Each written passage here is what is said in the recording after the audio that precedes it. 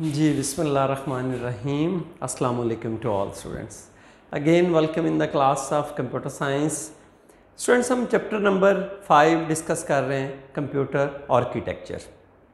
और आज इसका हम जो टॉपिक डिस्कस करने वाले हैं that is called IO unit IO stand for input and output students, हम इस चैप्टर के बारे में अगर बात करें तो इसमें कंप्लीट कंप्यूटर जो हमारा आर्किटेक्चर है, उसको हमने डिस्कस किया।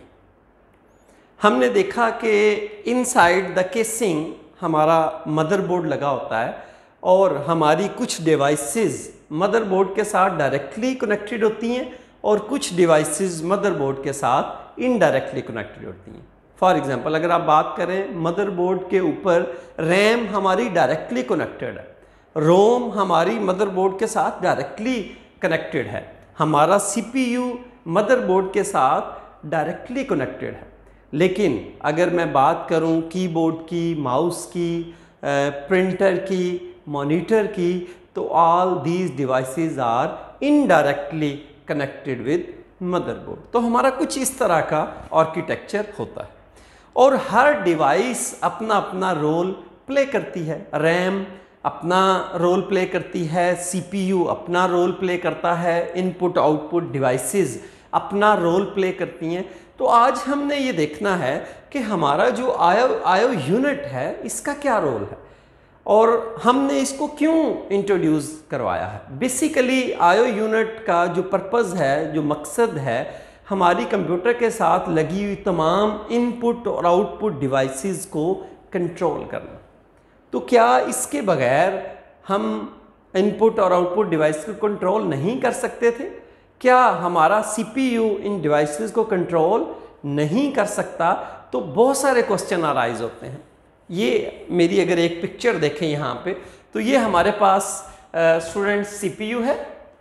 सीपीयू के साथ ये हमारी बसेस अटैच है data bus address bus and control bus आपको पता है कि कंप्यूटर के इनसाइड हमारे जितने भी कंपोनेंट्स लगे हुए हैं, इनकी आपस में कम्युनिकेशन कैसे होती है? With the help of buses और अगर इसको आप देखें तो हमारी कीबोर्ड और माउस हमारा प्रिंटर हमारी मैग्नेटिक डिस्क ये तमाम जो डिवाइसेस हैं, ये कनेक्टेड हैं किस से सीपीयू से, लेकिन with the help of buses इसका मतलब है कि डायरेक्टली हमारी ये डिवाइसेस सीपीयू से कनेक्टेड नहीं हमने इनडायरेक्टली इनको कनेक्ट किया हुआ है with the help of buses बल्कि इनके दरमियान में यहाँ पे ये हमने कोई इंटरफेस भी लगाया हो।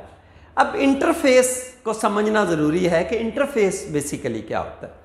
स्टूडेंट्स इंटरफेस फॉर एग्जांपल अगर आप बात करें यूज़र की और कंप्यूटर की तो दरमियान में जो विंडो ऑपरेटिंग सिस्टम है, वो वर्किंग एज अ इंटरफेस कि कंप्यूटर और यूज़र के दरमियान में इंटरफेस है जो दोनों की हेल्प कर रहा है। मेरी बात कंप्यूटर तक पहुँचा रहा है और कंप्यूटर की बात मुझ तक पहुँचा रहा है। तो window is working like a interface अगर दरमियान में विंडो ना हो तो मैं कंप्यूटर को ऑपरेट नहीं कर सकता।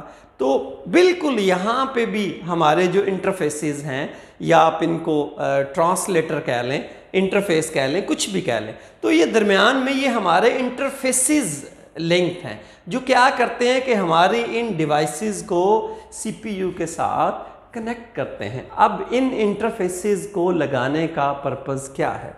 अगर आप स्टूडेंट्स ये एक लाइन रीड करें, all input and output devices are not directly connected to CPU कि हमारी तमाम इनपुट और आउटपुट डिवाइसेस जो हैं, वो CPU से डायरेक्टली कनेक्टेड नहीं होती। उसकी रीज़न क्या है? इसको वन बाय वन डिस्कस करते हैं।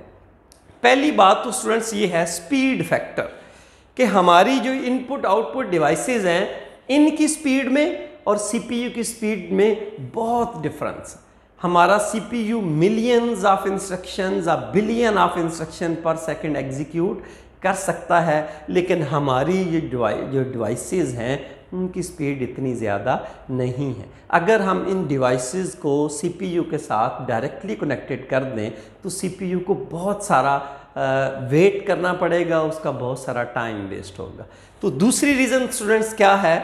डेटा फॉर्मेट अब सीपीयू डाटा को प्रोसेस करने के लिए एक वक्त में कितना डाटा उठाता है, उसका वर्ड साइज़ कितना है, या सीपीयू रैम से कितना डाटा उठाता है एक बार में उसको प्रोसेस करने के लिए। फॉर एग्जांपल उसका वर्ड साइज़ स्टूडेंट 8 बाइट हो सकता है 16 बाइट हो सकता है 32 बाइट हो सकता है। लेकिन हमारी ये जो डिवाइसेस हैं, इनका वर्ड साइज़ या ये कितना डाटा एक वक्त में सेंड एंड रिसीव कर सकती हैं, वो डिफरेंट है। तो ये सेकेंड रीज़न पहला रीज़न हमारा क्या था? कि स्पीड फैक्टर है। दूसरा रीज़न क्या है कि जो फॉर्मेट है वो डिफरेंट है। और स्टूडेंट तीसरा इसका रीज़न क्या है? सिग्नल्स कि हमारी ये डिवाइसेस इनकी ऑर्गेनाइजेशन इनका स्ट्रक्चर एक जैसा नहीं है। फॉर एग्जांपल अगर स्टूडेंट्स मैं सीपीयू की बात करूँ तो ये प्योर इलेक्ट्रिकल सिग्नल्स पे या करंट पे काम करता है। प्योर इलेक्ट्रिकल है। लेकिन अगर मैं स्टूडेंट्स कीबोर्ड और माउस की बात करूँ तो ये इलेक्ट्रोमैकेनिकल है। मतलब इसमें इलेक्ट्रिक भी इन्वॉल्व है और मैकेनिकल भी इन्वॉल्व है। दोनों दोनों की ऑर्गेनाइजेशन चेंज होगी। लेकिन अगर मैं हार्ड डिस्क की बात करूँ तो ये इलेक्ट्रोमैग्नेटिक डिवाइस है। तो तमाम डिवाइसेस का स्ट्रक्चर उनकी ऑर्गेनाइजेशन और उनके सिग्नल एक दूसरे से डिफरेंट हैं। इसलिए स्टूडेंट ये हमारी इस लाइन का ये आंसर है कि all IO devices are not directly connected to the CPU इस वजह से हम डायरेक्टली इनको कनेक्ट नहीं करते। अब हम करते क्या है? फॉर एग्जांपल जैसे आ, हम हमें हाई लेवल लैंग्वेजेस आती हैं लैंग्वेजेस के बारे में हम डिस्कस कर चुके हैं कि लो लेवल लैंग्वेज क्या होती है और हाई लेवल लैंग्वेज क्या होती है। लो लेवल लैंग्वेज हमारी ज़ीरो वन बाइनरी लैंग्वेज है स्टूडेंट्स जो कंप्यूटर को डायरेक्टली समझ आती है। लेकिन high level language that is very close to human being language जिसको समझना हमारे लिए बड़ा आसान है तो इसके लिए हम दरमियान में ट्रांसलेटर यूज़ करते हैं कि जब भी हम हाई लेवल लैंग्वेज में कोई प्रोग्राम लिखते हैं कंप्यूटर को समझाने के लिए ट्रांसलेटर हमारी हेल्प करता है। तो बिल्कुल यहाँ पे भी जो ये इंटरफेस हमने लगाए हुए हैं, आप इनको ट्रांसलेटर समझ लें। तो ये भी क्या करते हैं कि इनके अंदर हमारे रजिस्टर्स लगे होते हैं मेमोरी बफर लगी होती है, हम जो भी डाटा भिजवा रहे होते हैं, वो अपने पास सेव करते रहते हैं। और जब आपका डाटा कंप्लीट हो जाता है तो ये एक सिग्नल भिजवा देते हैं सीपीयू को कि मेरे पास आपके लिए इतना डाटा पड़ा हुआ है। जब भी सीपीयू फ्री होता है, वो वहाँ से डाटा को उठा लेता है। या उस, हमारा जो इंटरफेस है, उसके साथ कम्युनिकेशन कर लेता है। अब नेक्स्ट इसको देखते हैं स्टूडेंट्स कि अगर मैं आयो यूनिट को थ्रेटिकली डिस्कस करूँ, जैसे बुक में है। बहुत सारी बातें तो जो बुक में लिखी हुई हैं, हमने डिस्कस कर ली कि क्यों हम आयो यूनिट को डायरेक्टली सीपीयू के साथ कनेक्ट नहीं करते और उसमें जो तीन मेजर फैक्टर हैं वो भी हमने डिस्कस कर ली। IO unit is a special hardware component students बात याद रखनी है, ये सॉफ्टवेयर नहीं है। हार्डवेयर कंपोनेंट जैसे रैम एक हार्डवेयर कंपोनेंट है सीपीयू एक हार्डवेयर कंपोनेंट है कीबोर्ड माउस एक हार्डवेयर कंपोनेंट है।